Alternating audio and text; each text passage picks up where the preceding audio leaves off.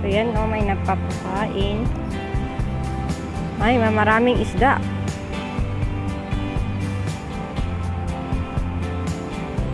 Ayan, ang mga fish. Panglalaki.